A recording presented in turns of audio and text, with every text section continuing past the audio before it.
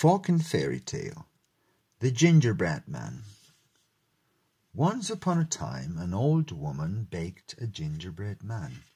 She put it on a plate to cool. But the naughty cookie jumped off the plate and dashed out the door. Run, run, as fast as you can. You can't catch me. I'm the gingerbread man he sang. The cookie was right. Try as she might, the old woman was just too slow.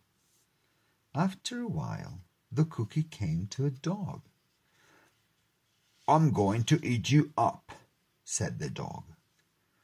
Run, run as fast as you can. You can't catch me, I'm the gingerbread man, sang the cookie. The cookie was right.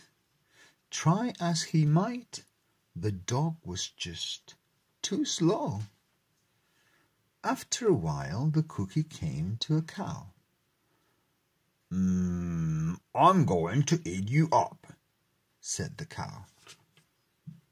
Run, run as fast as you can. You can't catch me. I'm the gingerbread man, sang the cookie. Cookie was right. Try as he might, the cow was just too slow. After a while, the cookie came to a fox standing by a river.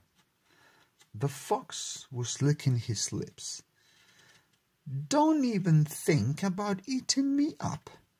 I ran away from an old woman and a dog and a cow and I will run away from you too, said the cookie. I don't like cookies, fiffed the clever fox. I just want to help you get across this river. Hop on my shoulder. I promise you will not get wet. Okay, said the cookie. So he did. Crunch! The fox munched the cookie in one bite. My, what a tasty treat, he said.